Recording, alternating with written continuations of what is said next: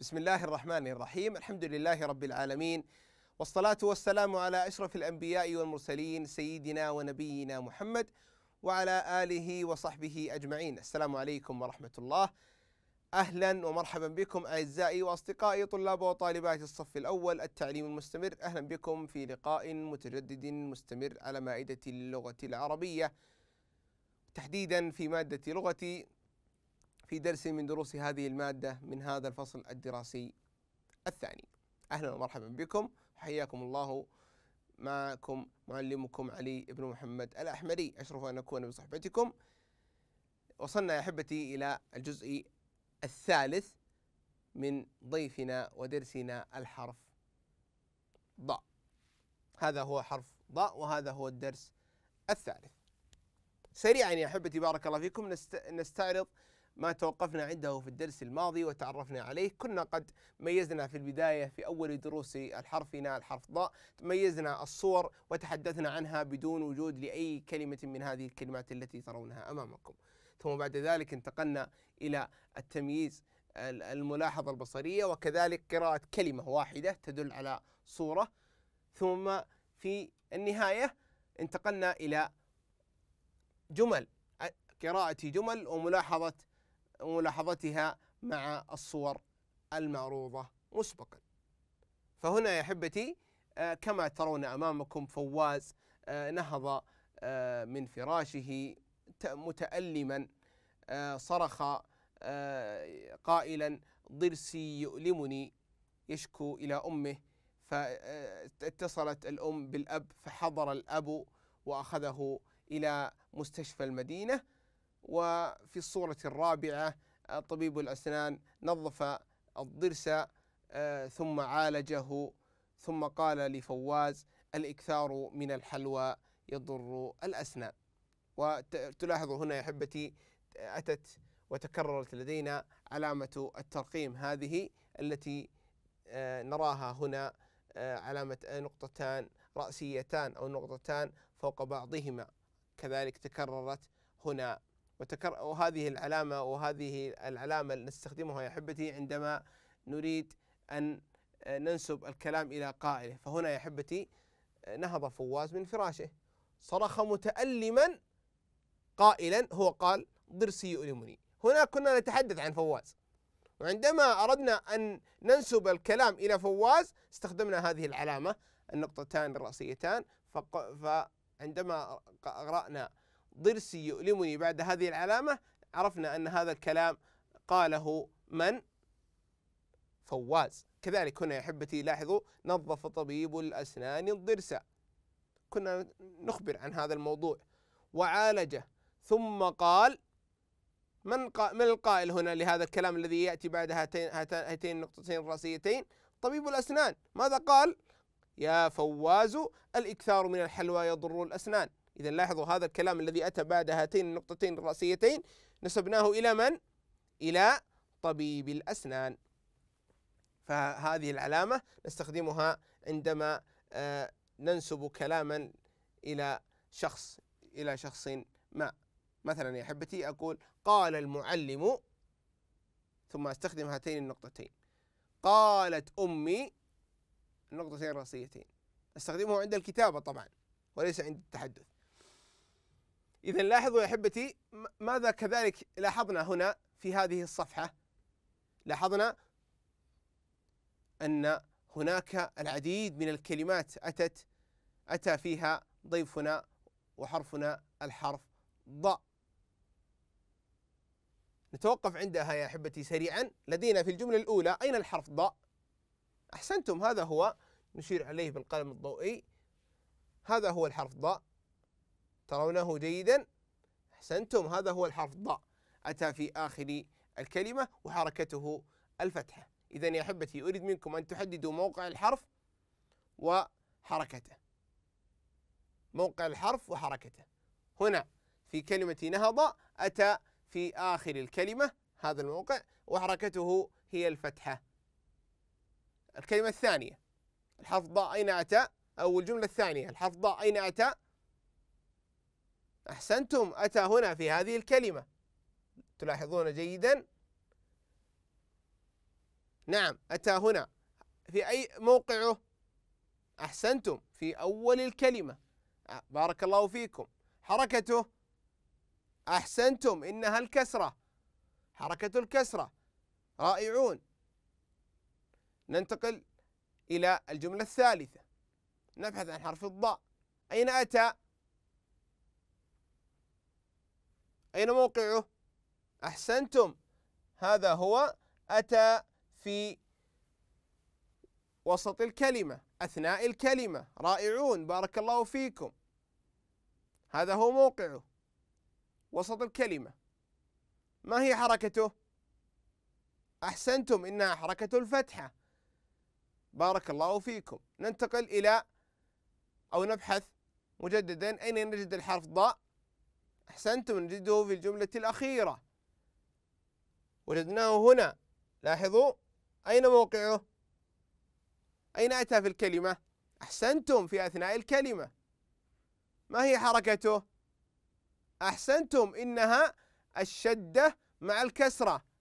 الشدة مع الكسرة. هذه الحركة أتت فوق الحرف ضاء هنا. هل تبقى لدينا حرف ضاء آخر؟ أحسنتم في آخر سطر. نلاحظ هنا يا أحبتي الحرف ضاء كذلك يأتي أين موقعه؟ أتى في هذه الكلمة في وسط الكلمة.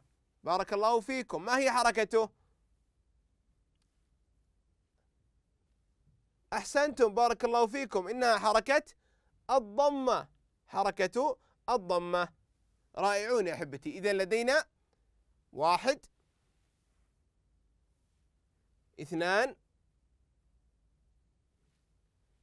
ثلاثة أربعة خمسة. خمس كلمات أتت في هذا أو في هذه الجمل. كلها أتى فيها الحرف ضاء أتى مرة في رقم واحد. بحركة الفتحة وكذلك تكرر في في رقم ثلاثة حركة الفتحة. رقم اثنين أتى بحركة الكسرة وكذلك رقم أربعة أتى بحركة الكسرة ولكن مع الشدة. ورقم خمسة يا أحبتي أتى حرف ضاء بحركة الضمة. كيف صوته؟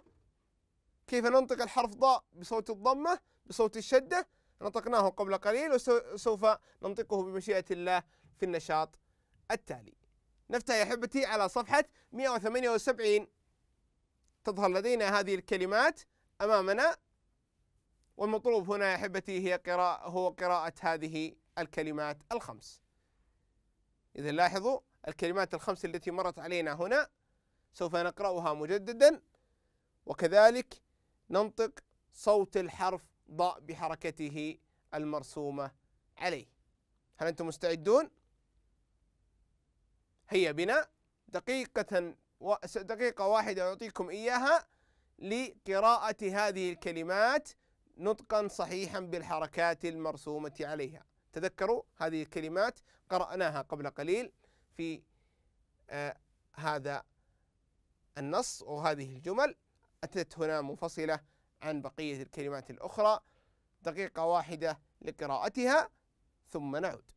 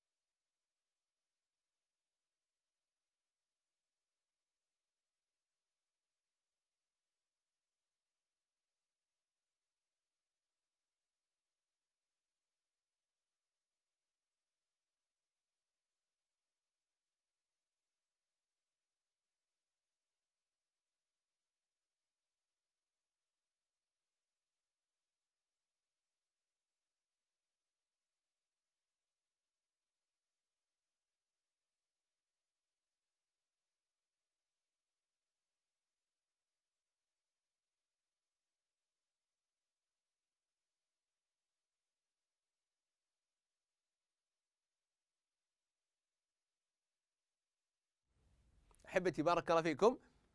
انتهى الوقت المخصص لقراءة هذه الكلمات الخمس. لاحظوا كل الخمس كلمات هذه أتى فيها الحرف ضاء مرة أتى في أول الكلمة مرة أتى في أثناء الكلمة مرة أتى في آخر الكلمة. هذه الكلمات الخمس كذلك. مرة أتى فيها حرف الضاء بحركة الفتحة. أكيد أن صوت الفتحة يختلف عن صوت الضمة وعن صوت الكسرة. وكذلك صوت رابع مر علينا هنا ألا وهو صوت الشد. حسنا يا أحبتي تأملوا معي هذه الكلمات. قرأتموها قبل قليل والآن سأقرأها ومن خلال قراءتي تستطيعون تقييم صحة قراءتكم. هذه الكلمة هي نهض نهض نهض. هذه الكلمة أض لاحظوا أض هذا الحرف لم ينطق إطلاقا. أضر أضر الضرس الضرس الضرس. هذه الكلمة حضر حضر حضر. هذه الكلمة ضر ضر ضر سي ضر سي أما هذه الكلمة الخامسة هي كلمة يضر يضر. إذا يا أحبتي خمس كلمات أتى فيها الحرف ضاء أريدكم يا أحبتي أن تضعوا خطا واحدا. أسفل الكلمة التي أتى فيها حرف الضاء في آخر الكلمة. تحدي سهل جدا. أين أتى حرف الضاء في آخر الكلمة في هذه الكلمات الخمس؟ أحسنتم أتى هنا. إذا خطا واحدا. مجددا. أريد منكم يا أحبتي أن ترسموا خطين تحت الحرف ضاء الذي عند تحت كل حرف ضاء خطين أتى في أثناء الكلمة. الحرف ضاء عندما يأتي في أثناء الكلمة نضع تحته خطين. ابحثوا جيدا. تبقى واحدة. أحسنتم نعم ثلاث كلمات. إذا هذه الأولى خطين هذه الثانية خطين وهذه الثالثة. كل هذه الكلمات الثلاث أتى فيها الحرف ضاء في أثناء الكلمة. حسنا تبقى لدينا هذه الكلمة أتى فيها الحرف ضاء في أول الكلمة نرسم أسفلها أو أسفل الحرف ثلاثة خطوط. إذا لاحظوا حرف ضاء الآن في أول الكلمة في أثناء الكلمة في آخر الكلمة. نميز شكله شكلين فقط. الشكل الأول. هذا هو في أول. ولا ننسى النقطة أحبتي في أول وأثناء الكلمة والشكل الثاني هذا هو شكله عندما يأتي في آخر الكلمة. حسنا الآن مرة أخرى.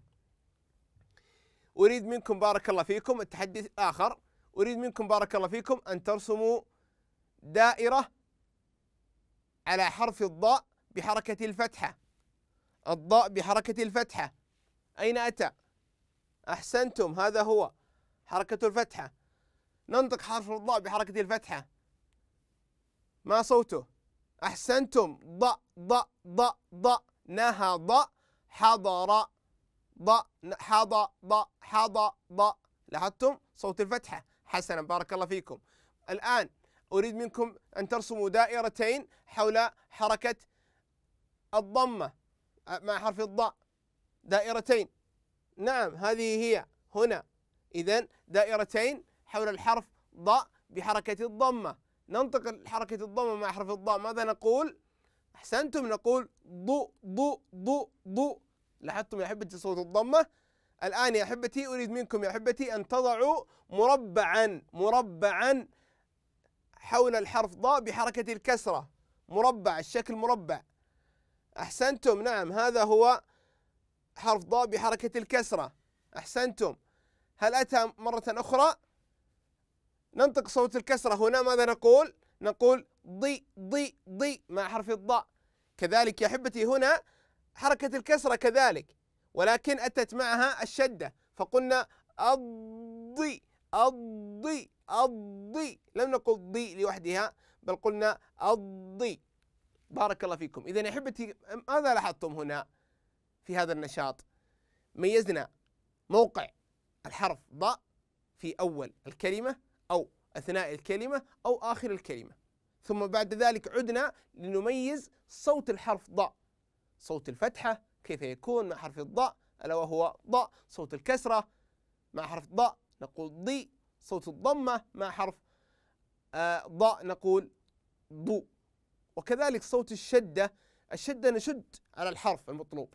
فشددنا هنا بالكسرة وقلنا الضي الضي بارك الله فيكم يا أحبتي. نتوقف هنا يا أحبتي ونستكمل مشيئة الله في الدرس القادم. السلام عليكم.